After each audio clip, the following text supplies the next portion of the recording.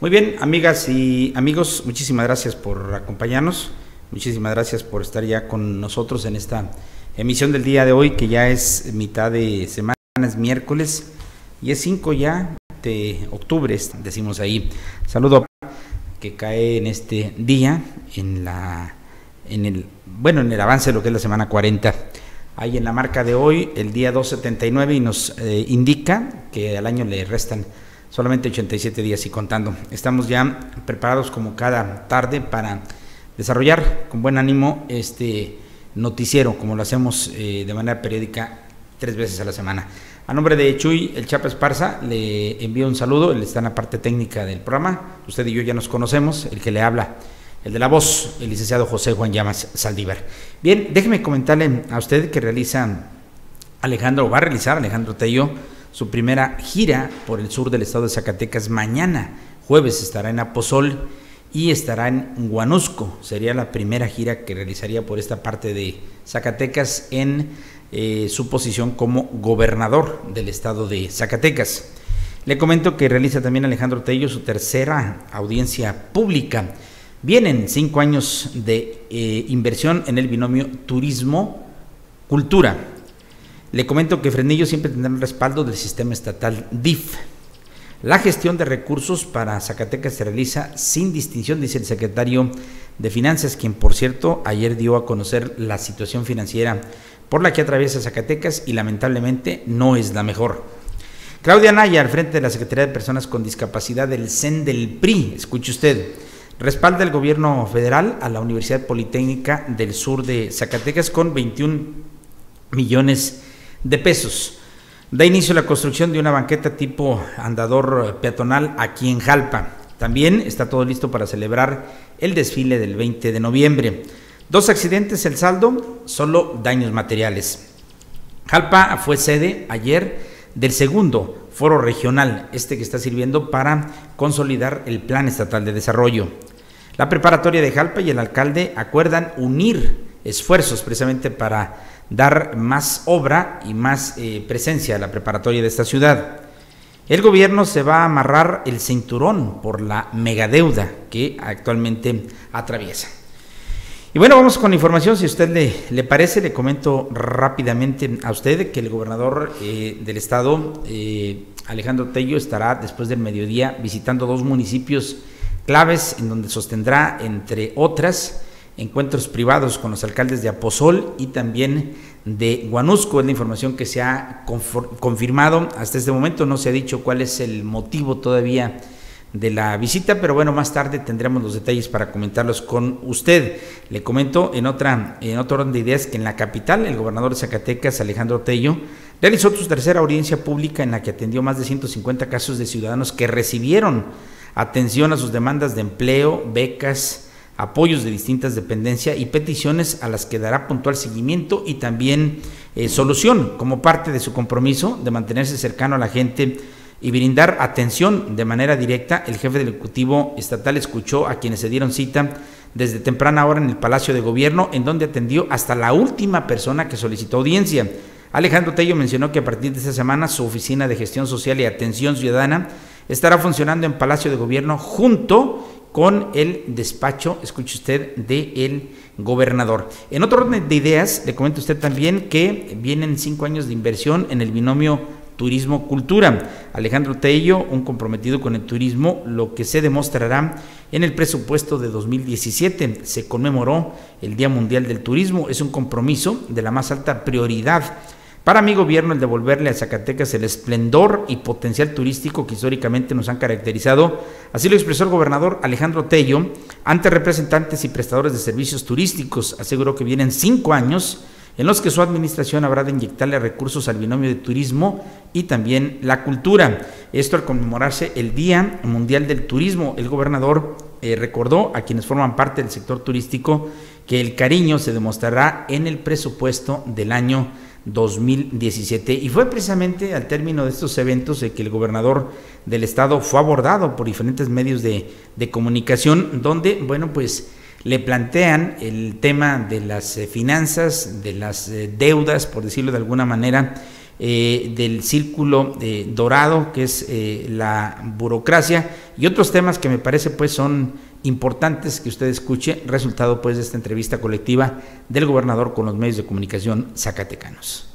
Hoy tenemos una audiencia más a partir de esta semana, estas oficinas a mi espalda son las oficinas de gestión social y audiencias donde la ciudadanía puede venir, están abiertas todo el día, son las dos únicas oficinas, la del gobernador y la de gestión social.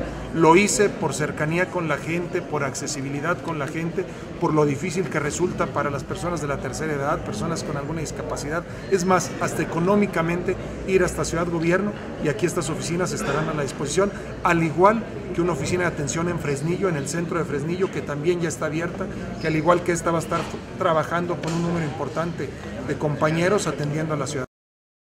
Déjeme decirle que al gobernador le, preguntaron en torno a la situación financiera y bueno, que dijo él que lo acaba de señalar, fue secretario de Finanzas, eh, también solicitó, fuiste parte de la aprobación de algunos este, eh, en préstitos el gobernador dijo que es totalmente corresponsable, sí, pero hay que ver la responsabilidad como es. Yo te puedo decir, dijo el gobernador, y de verdad sé que hice mi trabajo bien, me tocó recibir el gobierno, lo reestructuré, le regresé a Zacatecas, eh, que vale la pena recordarlo, que estaba en un default, eh, dice él, que no tenía una calificación que, nadie le, prestaba, le regresé también mediante una reestructura financiera, calificación, que las instituciones volverían a abrirle la puerta a Zacatecas. Es transparente lo que yo hice con tres bancos, una reestructura de 4.900 millones que la legislatura aprobó específicamente para cada rubro, entre las zonas militares, los municipios, ciudad, gobierno. Yo soy responsable y claro que seré siempre hasta el día que salí del Senado de la República, que creo que hice mi función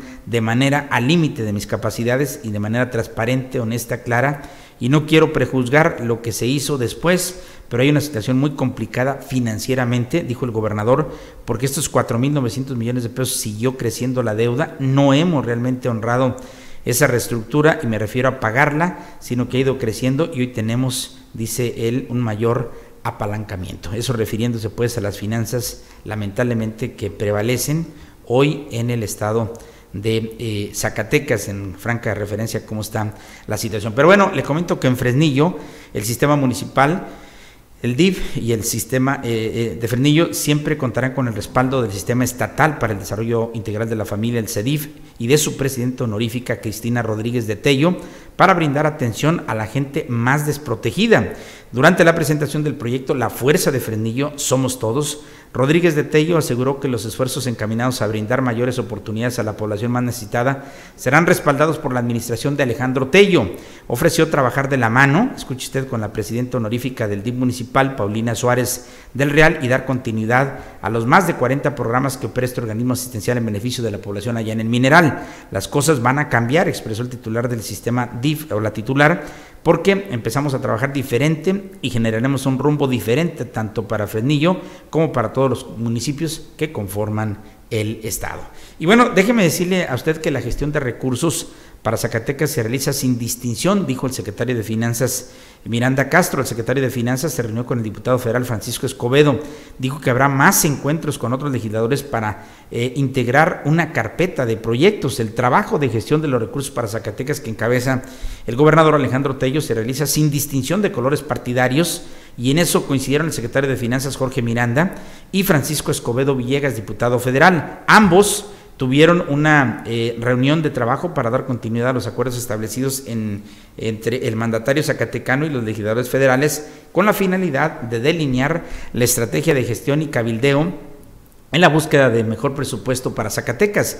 Durante el encuentro realizado en la sala de juntas de la Secretaría de Finanzas, trabajaron por la priorización de proyectos y sus respectivas fuentes de financiamiento y para integrar una carpeta que será presentada ante las comisiones de la Cámara de Diputados. Escobeda Villegas eh, reconoció la complejidad de la situación financiera que vive el país, pero eso no impedirá impulsar y promover la carpeta en las dependencias federales y unir esfuerzos a todas las expresiones en torno a Tello Cristerna y obtener recursos, dijo él, para Zacatecas. Y bueno, déjeme decirle que Claudia Naya sí, esta eh, dama que usted ve aquí está al frente hoy de la Secretaría de Personas con Discapacidad en el Comité Ejecutivo Nacional del El PRI.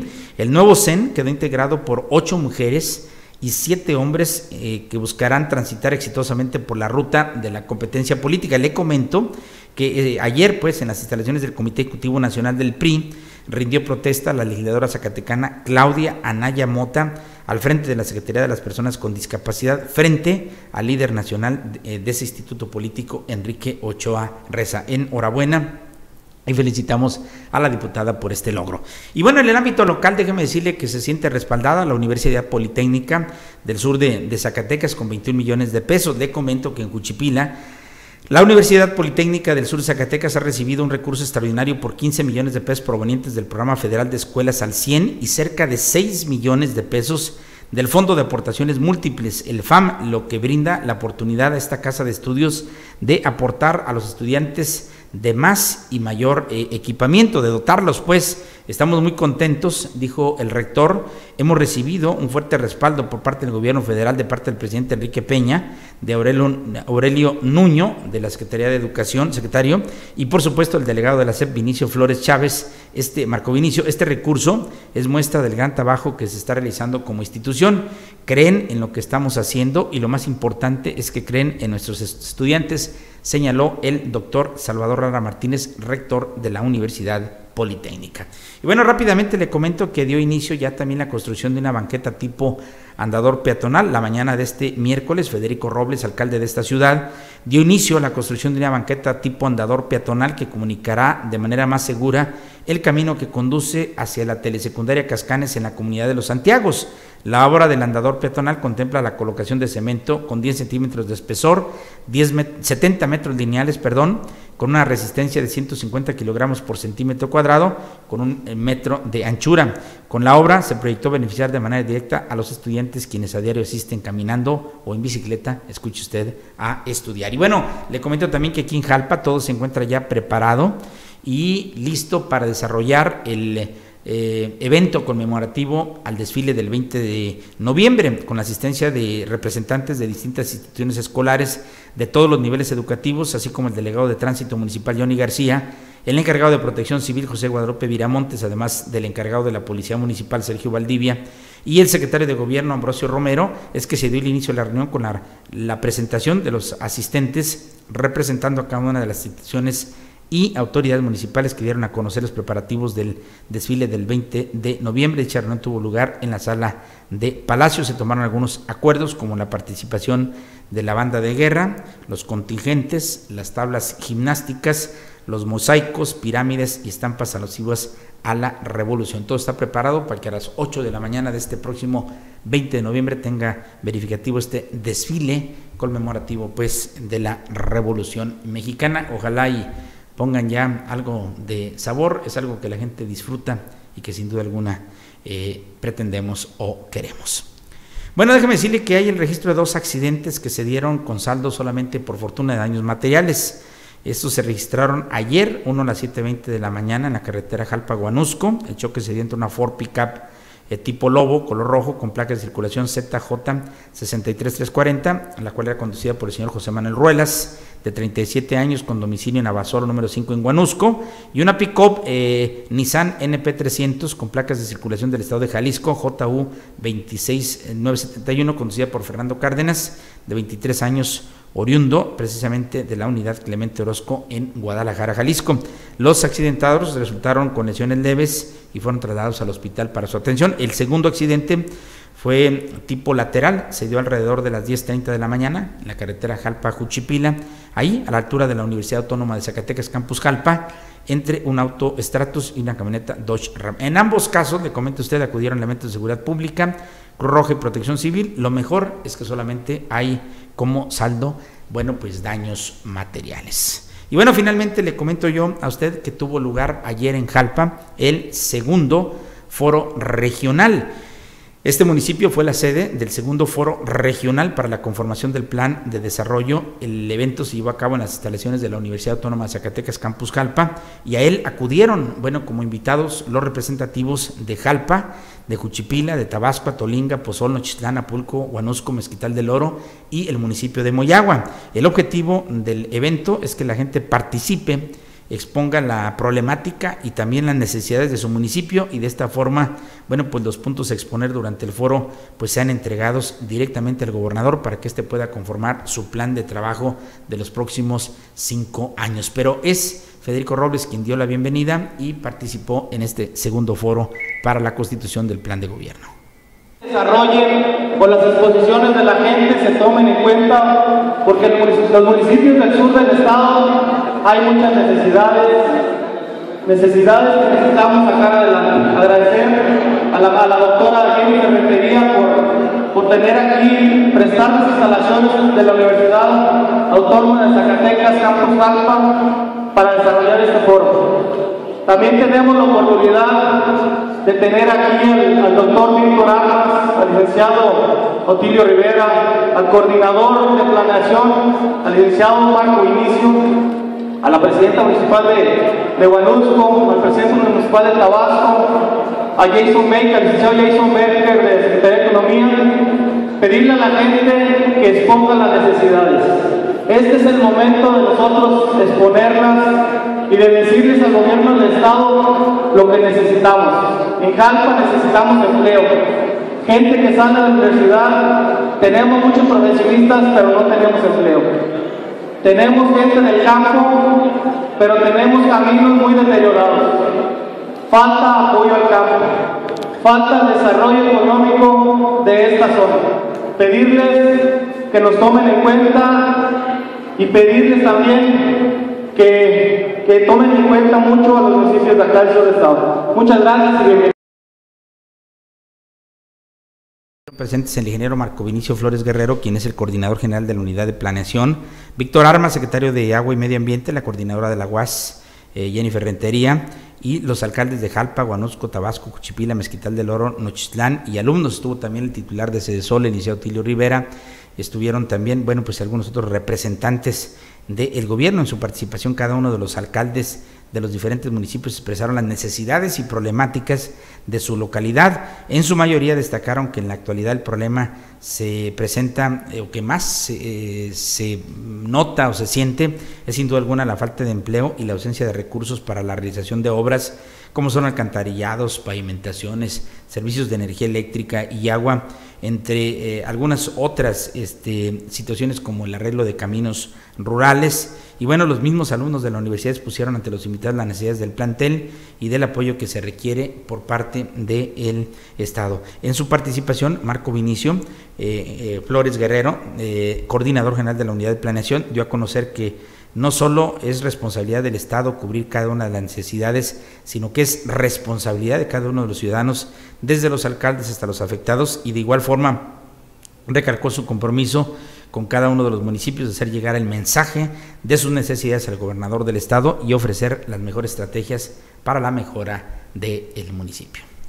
Y bueno, y, del estado, por supuesto. Y déjeme decirle usted que la preparatoria de Jalpa y el alcalde de esta ciudad, Federico Robles, unen esfuerzos al inicio de la semana. Federico Robles, junto con eh, su equipo de trabajo, acudieron a las instalaciones de la preparatoria eh, de Jalpa eh, en su inicio, al llegar a las instalaciones, se rindieron bueno, pues honores a la bandera entre el alumnado y maestros. Después de eso se pasó a un desayuno con el grupo de maestros, esto con el fin de conocer las necesidades del plantel, ya que este año se incrementó la matrícula y con ello aumentaron las necesidades. Escuchen usted, dentro del plantel, la preparatoria cuenta con 500 alumnos, en cada salón hay 50, lo que provoca una saturación dentro de cada aula Cabe recalcar que algunos de sus salones se encuentran en mal estado y esto debido a que también entre ellos eh, tienen hasta 50 años de antigüedad, razón por la cual, bueno, pues está pidiendo el apoyo. Otra de las necesidades más grandes de la prepa es la creación de nuevos salones y remodelación de los que ya están, así como el arreglo de baños y la creación de un domo.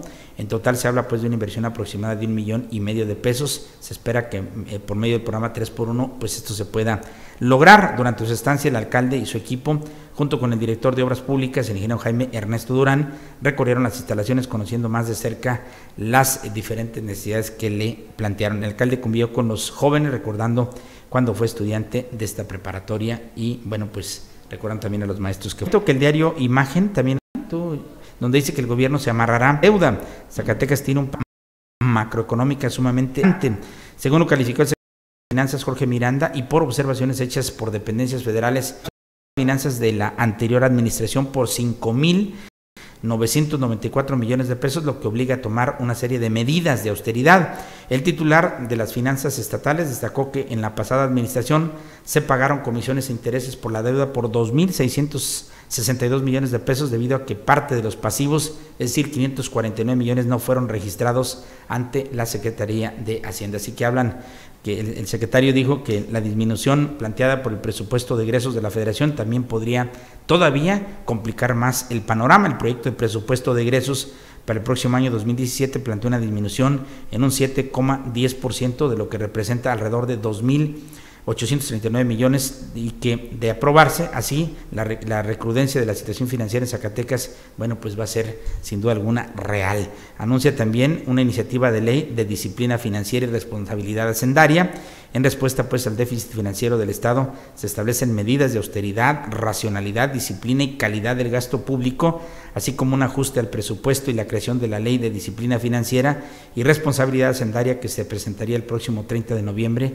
en el paquete económico. Imagínense usted, así están las cosas pues el día de hoy. Y bueno, es así como llegamos a la parte final del programa, me resta solamente agradecerle este chance y esta oportunidad y bueno, si Dios no dispone otra cosa, nos vemos en el próximo.